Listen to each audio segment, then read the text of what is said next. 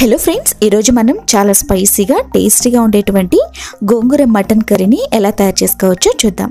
దీనిని చాలా సింపుల్గా క్విక్గా తయారు చేసుకోవడానికి ఇక్కడ నేను కుక్కర్లో తయారు చేస్తున్నాను. మీరు కావాలంటే నార్మల్ పాత్రలో కూడా దీన్ని తయారు చేసుకోవచ్చు. ముందుగా మూడు టేబుల్ స్పూన్ల ఆయిల్ని పోసుకొని ఇందులోకి ఒక టీ స్పూన్ సోప్ ఒక అనాస పువ్వు అలాగే మూడు లేదా నాలుగు లవంగాలు రెండు యాలకులు ఒక దాల్చిన చెక్కను వేసుకుని వీటన్నిటిని బాగా ఫ్రై చేయాలి. ఇది బాగా ఫ్రై అవుతున్నప్పుడు మూడు మీడియం సైజ్ ఉల్లిపాయలని కూడా సన్నగా కట్ చేసుకొని ఇందులోకి వేసుకోవాలి. అలాగే నాలుగు లేదా ఐదు పచ్చిమిర్చిలను కూడా వేసుకొని వీటన్నిటిని బాగా ఫ్రై చేయాలి.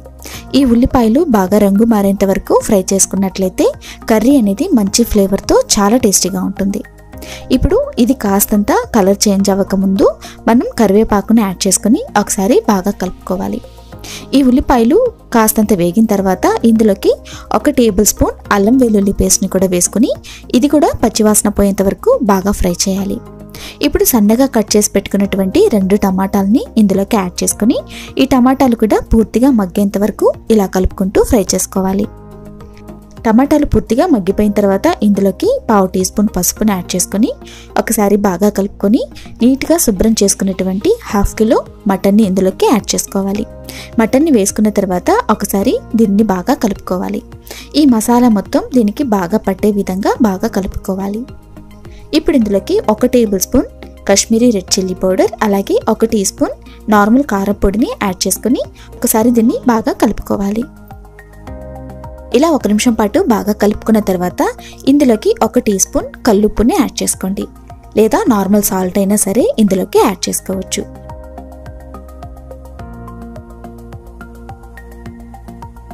ఉప్పుని యాడ్ చేసుకున్న తర్వాత మరొకసారి దీన్ని బాగా కలుపుకొని ఇందులోకి తగినంత నీళ్ళని పోసుకోవాలి. ఇక్కడ నేను ఒకటిన్నర గ్లాసుల వరకు నీళ్ళని యాడ్ చేస్తున్నాను. ఇక్కడ నేను హాఫ్ కిలో మటన్ తీసుకున్నాను కాబట్టి ఒకటిన్నర గ్లాస్ వరకు నీళ్ళని యాడ్ చేసుకొని ఒకసారి బాగా కలుపుకొని దీనిపైన మూత పెట్టి మూడు నుంచి ఐదు విజిల్స్ వచ్చేంత వరకు ఉడికించుకోవాలి.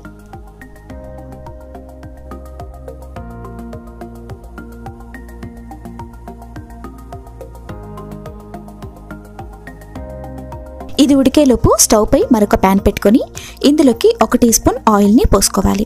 శుభ్రంగా చేసుకున్నటువంటి గోంగూర ఆకుల్ని ఇందులోకి వేసుకోవాలి. ఇక్కడ నేను మూడు కట్టల గోంగూరని తీసుకున్నాను.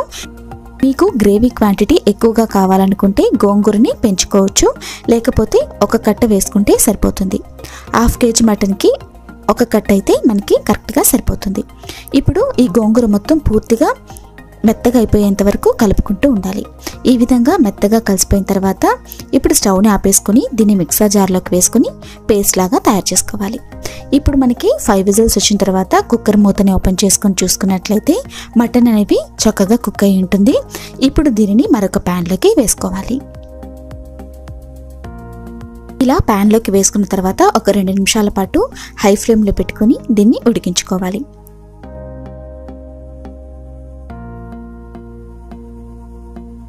ఇప్పుడు ఇందులో వాటర్ అనేది కాస్తంత ఉండేటప్పుడే మనం గ్రైండ్ చేసి పెట్టుకున్నటువంటి గోంగూర మిశ్రమాన్ని ఇందులోకి యాడ్ చేసుకోవాలి. గోంగూరని మీరు మిక్సర్ జార్లో వేసుకొని ఫైన్ పేస్ట్గా తయారు చేసుకొని ఇందులోకి యాడ్ చేసుకోవచ్చు. లేకపోతే మనం ఫ్రై చేసుకున్న తర్వాత మిక్సర్ జార్లోకి యాడ్ చేయకుండా డైరెక్ట్గా ఇలాగే వేసేసుకోవచ్చు. ఇప్పుడు ఈ మిశ్రమం మొత్తం మటన్ ముక్కలతో పాటు బాగా కలిసిపోయి ఒక రెండు నిమిషాల పాటు ఉడికిన తర్వాత ఇందులోకి ఒక టీ స్పూన్ గరం మసాలాని యాడ్ చేసుకోవాలి. ఇలా గరం మసాలాని వేసుకొని మరొక రెండు నిమిషాల పాటు మీడియం ఫ్లేమ్లో ఉడికించుకోవాలి.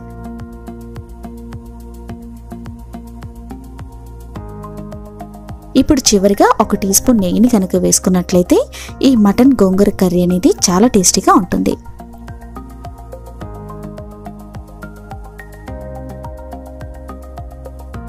దీనిపైన ఆయిల్ బాగా తేలుతుంది. ఈ సమయంలోనే స్టవ్ని ఆపేసుకుంటే మనకి గోంగూర మటన్ కర్రీ అనేది రెడీ అయినట్లే. ఈ కర్రీ అనేది రైస్కే కాకుండా రోటీలకి ఫుల్కాలకి సైడ్ డిష్గా చాలా బాగుంటుంది.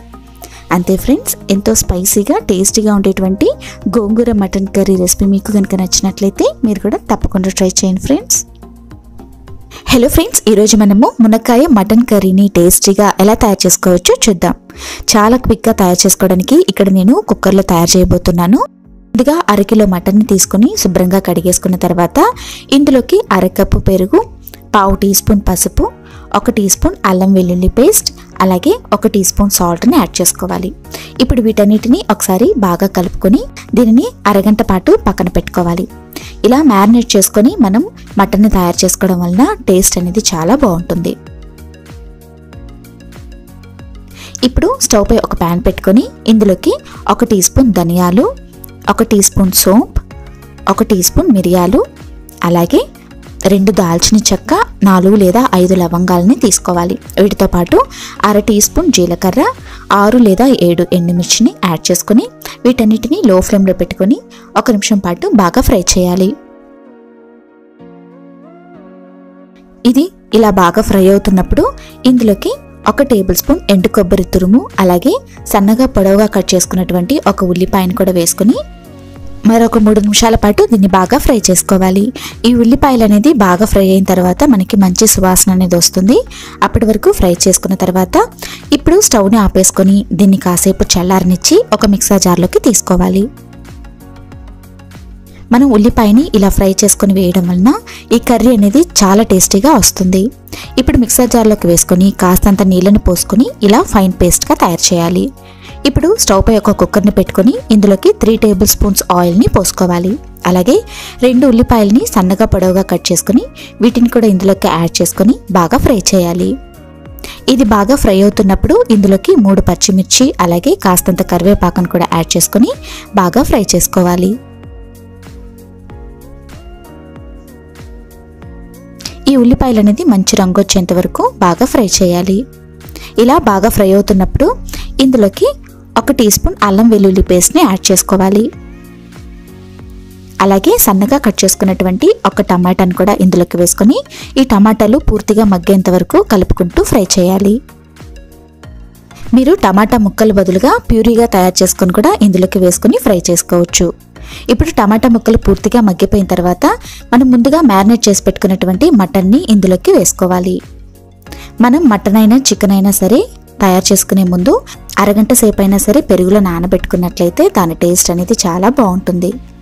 ఇప్పుడు మటన్ని కాస్త ఫ్రై చేసుకున్న తర్వాత మనం ముందుగానే గ్రైండ్ చేసి పెట్టుకున్నటువంటి ఈ పేస్ట్ని ఇందులోకి వేసుకుని మరొక నిమిషం పాటు బాగా కలుపుకుంటూ ఫ్రై చేయాలి. ఇలా ఈ మసాలా అంతా ఈ మటన్ ముక్కలకి బాగా పట్టే విధంగా కలుపుకుంటూ ఫ్రై చేయాలి.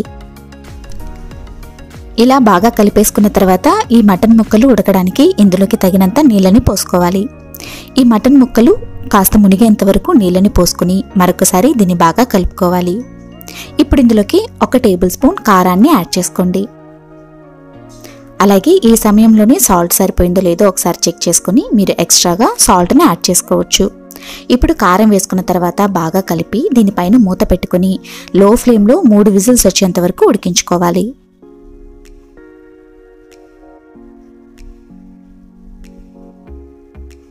ఇలా త్రీ విజిల్స్ వచ్చిన తర్వాత ప్రెషర్ అంతా పోయిన తర్వాత మూతను ఓపెన్ చేసుకొని చూసుకున్నట్లయితే మనకి మటన్ పీసెస్ అనేది చక్కగా కుక్ అయిపోయి ఉంటుంది. ఇప్పుడు మనం వీటిని పక్కకు పెట్టుకున్న తర్వాత స్టవ్ పై మరొక ప్యాన్ పెట్టుకొని ఇందులోకి ఒక టీ స్పూన్ ఆయిల్ని పోసుకోవాలి. ఇప్పుడు మనం ముందుగానే కట్ చేసి పెట్టుకున్నటువంటి మునక్కాయల్ని వేసుకొని దీనిని రెండు నిమిషాల పాటు లో ఫ్లేమ్లో పెట్టుకొని బాగా ఫ్రై చేసుకోవాలి. ఇలా బాగా ఫ్రై చేయడం వలన మునక్కాయలు అనేది కాస్త మెత్తబడుతుంది. ఇప్పుడు మనం ముందుగానే తయారు చేసి పెట్టుకున్నటువంటి ఈ మటన్ని ఇందులోకి పోసుకోవాలి. ఈ మటన్ గ్రేవీని పోసుకున్న తర్వాత స్టవ్ని లో ఫ్లేమ్లో పెట్టుకుని ఈ మునక్కాయలు బాగా ఉడికేంత వరకు దీనిపైన మూత పెట్టుకొని ఉడికించుకోవాలి. మునక్కాయలు అనేవి త్వరగా ఉడికిపోతుంది కాబట్టి రెండు మూడు నిమిషాల పాటు దీనిపైన మూత పెట్టుకుని ఉడికించుకుంటే సరిపోతుంది. ఇప్పుడు త్రీ మినిట్స్ తర్వాత చూసుకున్నట్లయితే మనకి మునక్కాయలు కూడా చక్కగా కుక్ అయిపోయి ఉంటుంది. దీనిపైన కాస్తంత కొత్తిమీరని చల్లుకొని మరొక నిమిషం పాటు దీన్ని కలుపుకొని స్టవ్ను ఆపేసుకుంటే ఎంతో రుచికరంగా ఉండేటువంటి మునక్కాయ మటన్ కర్రీ అనేది రెడీ అయినట్లే. మనం దీనిని రైస్కే కాకుండా రోటీలకి ఫుల్కాలకి సైడ్ డిష్గా తీసుకుంటే చాలా బాగుంటుంది. మీకు కనుక ఈ రెసిపీ నచ్చినట్లయితే మీరు కూడా తప్పకుండా ట్రై చేయండి ఫ్రెండ్స్